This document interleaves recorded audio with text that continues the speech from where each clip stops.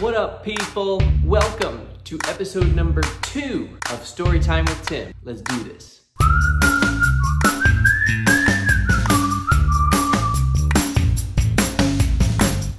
So the idea of these videos are to bring fun ideas to your weddings, various trends that you guys are gonna be seeing in weddings, and you'll get to learn a little bit more about our DJs here at TLS Entertainment, how uniquely awesome we all are. All right, so we're gonna begin today by talking a little bit about a real wedding we had back in June. This wedding was out in Myakka called Wandering Oaks. Really cool venue, kind of like a barn setting. Um, the ceremony is beautiful. I was asked to be a part of a huge surprise for the couple's guests. So, what was it? The bride wanted me to announce in a very creative way that she was pregnant with baby number two. Win, win, win, no matter what! so, some of the things that we do during weddings, you know, there are certainly games. You've got the anniversary dance, you've got the dollar dance, not really games, but you know, formal activities that you can do. Incorporate all of your guests. Um, in this particular one, it's called the Newlywed Game, also known as the Shoe Game, or Barbie and Ken Doll Game. I have the bride and groom sitting back to back in the chair, middle of the dance floor, each holding a Barbie and a Ken doll, both of them. I will ask questions, has to be a who question, typically who asked out who first, who said I love you first, that sort of thing. I also go around during dinner or cocktail hour and I will talk to the guests and say, hey, what kind of questions would you like to ask the bride and groom? So guests know the bride and groom extremely well, hopefully. Um, so I like to get some, you know, really personal questions. Uh, and I get some really good ones. Of course, the guests want to, want to hear their anonymous question asked and then see what the bride and groom have to say. Super fun.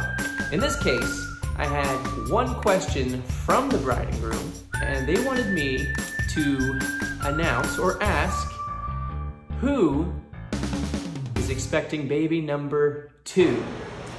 I have one last question for y'all. One last question for y'all. You guys ready for this one? Who is pregnant with baby number two?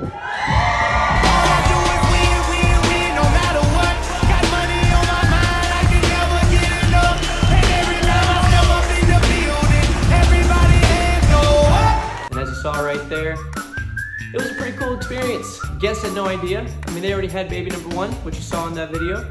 Really cool, fun way to announce that you are expecting a second little one, especially during your wedding. Like, how do you one up your wedding, right? Like, you one it up, you one up it by announcing you have baby number two on the way. All right, so next thing I want to talk to you guys about. Let's get on the topic of cakes, dessert. All right, typically you see, you know, you have a cake, uh, we do cake cuttings and so forth. Did a wedding a couple weeks ago uh, at Baker's Ranch. Uh, it's in Parrish, Florida. Beautiful setting. And in this particular wedding, instead of doing a normal cake, this couple decided to do a cookie cake, like a full-on cookie cake with layers and layers and layers of cookies. And they actually had bobblehead dolls that looked just like them as their cake topper. Like super cool. Um, and this is something that I thought was super interesting. You don't see a lot. Um, but in lieu of doing cake, I, you know, we've seen uh, cupcakes, we've seen donuts, uh, done donut walls, cookie cakes, uh, you know, just different things other than a regular regular cake. So if you don't want to do a cake, you don't have to. Different ideas, different trends that are happening. do a donut wall. You can do cupcakes, whatever, cake pops, you know, or a whole dessert spread. You don't even have to do a cake cutting. Just, hey, dessert's ready, ready and available. Just go ahead at it. But just something cool, a little bit different um, to maybe incorporate into your big day. Another cool idea that we saw, again, this was, this is another wedding at Baker's Ranch. We're a preferred vendor at Baker's Ranch, so we're there quite often. Social distancing wristbands. Like, how cool is that? Now that we're kind of seeing a rise in COVID numbers again, uh, this, is a, this is just a great way to kind of make your guests a little bit, you know, feel a little bit more comfortable. In the event of COVID, we're still unsure. Social distancing wristbands. Green means I'm here for hugs. Yellow means I'll give elbow bumps.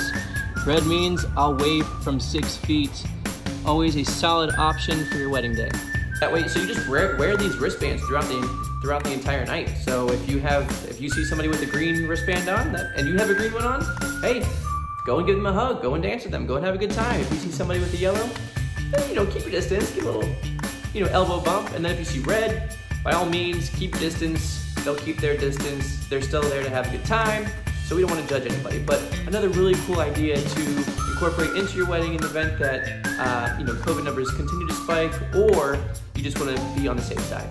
And that's gonna wrap it up for us, people. Thank you guys so much for tuning in to a story time with Tim. I am DJ Tim, owner and premier DJ with TLS Entertainment. Until next time, say yes to TLS.